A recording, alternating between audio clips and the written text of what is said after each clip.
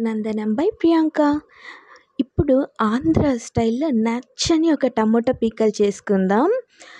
దానికోసం నేను ఫస్ట్ ఒక కిలో టమోటాస్ తీసుకున్నానండి. కిలో టమోటాస్ తీసుకొని దాని పైన ఉన్న పచ్చ కలర్ది రిమూవ్ చేసేసి ఒక టమోటాని నాలుగు పీసెస్గా కట్ చేసుకొని ఇలా మిక్సీ జార్లో వేసుకున్నాను.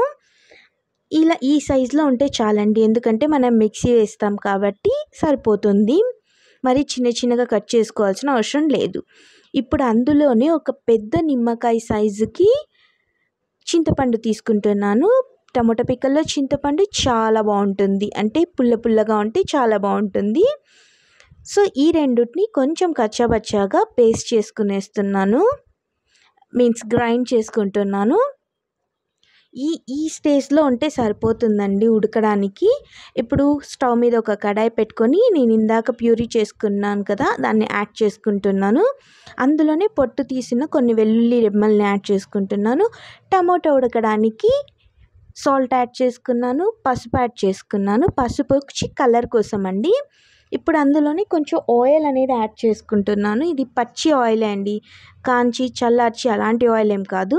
ఇప్పుడు దీనికోసం మనమే పౌడర్ని రెడీ చేసుకుందాం. దానికోసం పక్కన ఇంకొక ప్యాన్ పెట్టుకొని కొంచెం ఆవాలు యాడ్ చేసుకుంటున్నాను. దాంతోపాటు కొంచెం జీలకర్ర అండ్ చాలా చాలా మెయిన్ కొంచెం మెంతులు యాడ్ చేసుకోవాలి.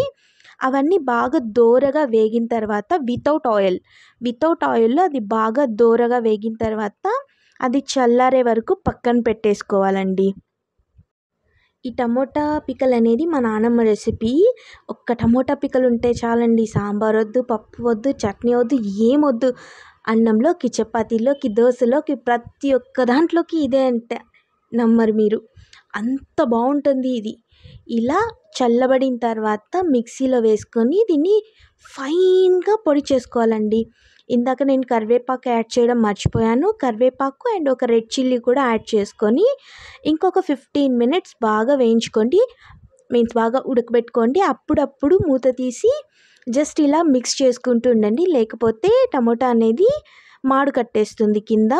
అండ్ మెయిన్ ఇంపార్టెంట్ ఈ ప్రాసెస్ అంతా సిమ్లో మాత్రమే జరగాలి అనేది గుర్తుపెట్టుకోండి. లేకపోతే టమోటా పికల్ అనేది అస్సలు స్పాయిల్ అయిపోతుంది. ఇది ఇలా పౌ పౌడర్ చేసుకొని పెట్టుకున్నా నేను. ఒక థర్టీ మినిట్స్ తర్వాత దీంట్లో ఉన్న నీళ్ళన్నీ బాగా ఇమిరిపోయి మనం వాటర్ అనేది యాడ్ చేయలేదు. ఆల్రెడీ టమోటాలో నుంచి వచ్చిన నీరు అనేది బా బాగా ఇమిరిపోయింది. ఈ స్టేజ్లో ఒక two spoons red chilli powder add చేసుకుంటున్నాను. హాఫ్ స్పూన్ ధనియా పౌడర్ యాడ్ చేసుకుంటున్నాను. అండ్ కొంచెం రెడ్ చిల్లీ యాడ్ చేసుకుంటున్నాను. నేను చెప్పాను కదా నేను ఇందాక మర్చిపోయాను అందుకే ఇప్పుడు యాడ్ చేసుకుంటున్నాను. అండ్ కొ ఇందాక మనం పౌడర్ చేసుకున్నాం కదా ఆ పౌడర్ అనేది యాడ్ చేసుకుంటున్నా. మళ్ళీ కొంచెం ఆయిల్ అనేది యాడ్ చేసుకొని దీన్ని బాగా మిక్స్ చేసుకుంటున్నాను. అండ్ మీరు ఒకటి చాలా గుర్తుపెట్టుకోండి ఈ ప్రాసెస్ అంతా సిమ్లో మాత్రమే జరగాలి. ఎక్కడ కానీ మంట హైలో పెట్టనే పెట్టకండి. సో ఇలా బాగా కలిపేసుకున్న తర్వాత ఒక ఫైవ్ మినిట్స్ అలానే వదిలేస్తున్నాను. అప్పుడప్పుడు మిక్స్ చేయడం మర్చిపోకండి. ఆ ఫైవ్ మినిట్స్లో కూడా. లేకపోతే తొందరగా టమాటో పిక్కలు అనేది మాడు కట్టేస్తుంది. ఇప్పుడు దీనికి పోపు పెట్టేసుకుందాం.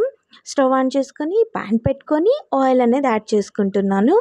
ఇప్పుడు ఇందాక నేను కొంచెం కొంచెమే ఆయిల్ అనేది యాడ్ చేసుకున్నానండి. One tablespoon two tablespoon అలా. ఇప్పుడు కొంచెం ఎక్కువగానే ఆయిల్ వేసుకుంటున్నాను. బికాజ్ ఆయిల్ వేసుకుంటేనే అది బాగా నిల్వ ఉంటుంది సో ఇందులో ఆవాలు యాడ్ చేసుకుంటున్నాను. అండ్ కొంచెం జీలకర్ర యాడ్ చేసుకుంటున్నాను. అండ్ పొట్టు తీసిన వెల్లుల్లి రెమ్మలు యాడ్ చేసుకోవాలి. ఈ పికల్లో వెల్లుల్లి అనేది చాలా ఇంపార్టెంట్ అండి. ఈ వెల్లుల్లి వల్ల ఈ పికల్కి చాలా మంచి టేస్ట్ వస్తుంది. పికల్లో నుంచి వెల్లుల్లి అలానే అలానే తీసుకొని కూడా తినచ్చు. సూపర్ టేస్ట్ ఉంటుందన్నమాట. సో ఇదన్నీ బాగా వేగాలన్నమాట. కొంచెం కరివేపాకు అండ్ కొన్ని రెడ్ చిల్లీ కూడా యాడ్ చేసుకుంటున్నాను. ఈ పికల్లో రెడ్ చిల్లీ కూడా సూపర్ ఉంటుంది. రెడ్ చిల్లీ అలానే అలానే తినేయచ్చు. అండ్ కొంచెం ఇంగువ పసుపు ఉప్పు. ఇక్కడ మళ్ళీ ఎందుకు ఉప్పు యాడ్ చేసుకుంటున్నానంటే నేను ఇందాక టమోటా పిక్కలో కొంచెం తక్కువగానే ఉప్పు అనేది యాడ్ చేసుకున్నాను. ఇప్పుడు ఇక్కడ ఉప్పు యాడ్ చేసుకోవడం వల్ల ఆ వెల్లుల్లికి కూడా ఉప్పు అనేది పడుతుంది. అప్పుడే టేస్ట్ అనేది చాలా బాగుంటుంది. సో ఇవన్నీ యాడ్ చేసుకొని కొంచెం బాగా కలుపుకుంటున్నాను. ఇదన్నీ బాగా వేగాలండి. ఆ వెల్లుల్లి అనేది మంచిగా ఆయిల్లో ఫ్రై అవ్వాలి. అప్పుడు అది కొంచెం కరకరలాడుతూ ఉంటుంది సూపర్గా ఉంటుంది.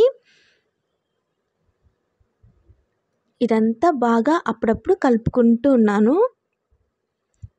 నాకైతే ఈ పిక్కలు పెడితే ఇంకా మంత్ మొత్తం ఇదే అండి. మీరు దీన్ని రీఫ్రిజిరేటర్లో పెట్టుకుంటే మాత్రం ఒక టూ మంత్స్ వరకు చాలా ఫ్రెష్గా ఉంటుందన్నమాట. చపాతీలో కానీ వేడి వేడి రైస్లో కానీ అస్సలు ఇంకా అమృతం లాగా ఉంటుంది ఇది. అండ్ ఆంధ్ర రాయలసీమలో ఇది సూపర్ ఫేమస్ అనమాట సో నేను అక్కడ చూపిస్తున్నాను కదా వెల్లుల్లి. ఆ స్టేజ్ వరకు కొంచెం ఆయిల్లో డీప్ ఫ్రై అయితే చాలండి. ఇప్పుడు ఈ మిక్స్ని అంతా మనం పికల్లోకి యాడ్ చేసేసుకుందాం. పికల్ నేను స్టవ్ ఆఫ్ చేసేసాను. స్టవ్ ఆఫ్ చేసేసిన తర్వాత కొద్దిసేపటికి ఈ ఈ మొత్తాన్ని దాంట్లోకి యాడ్ చేసుకుంటున్నాను. దీన్ని దాంట్లోకి యాడ్ చేసుకునేసి జస్ట్ కొంచెం కలిపేసి చల్లారిన తర్వాత ఒక కంటైనర్లో వేసుకునేసి గ్లాస్ కంటైనర్ అయితే బెటర్. గ్లాస్ కంటైనర్లో వేసుకొని ఫ్రిడ్జ్లో పెట్టుకుంటే టూ మంత్స్ వరకు అంత ఫ్రెష్గా ఉంటుందండి. అండ్ ప్లీజ్ మీకు ఈ వీడియో నచ్చితే లైక్ చేయండి షేర్ చేయండి మీ కామెంట్ మీ ఒపీనియన్ని కామెంట్ చేయండి. అండ్ ప్లీజ్ ప్లీజ్ ఛానల్ని సబ్స్క్రైబ్ చేయండి. వీడియోస్ చాలా వ్యూస్ వస్తున్నాయి కానీ సబ్స్క్రైబ్ చేయట్లేదు. ప్లీజ్ ప్లీజ్ సబ్స్క్రైబ్ చేయండి. Thanks for watching